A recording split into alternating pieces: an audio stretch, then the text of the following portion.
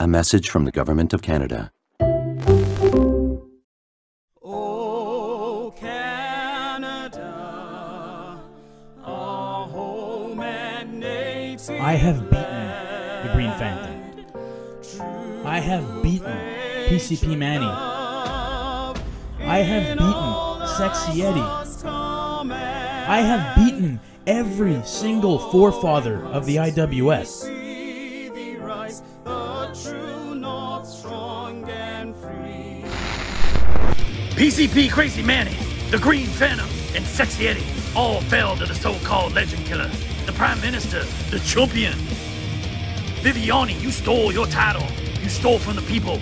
You stole from IWS. The contract is out and the beast is loose. March 2nd, the animal is gonna Jan 6 that ass. I'ma drop about a dozen trucks right on top of your stupid melon.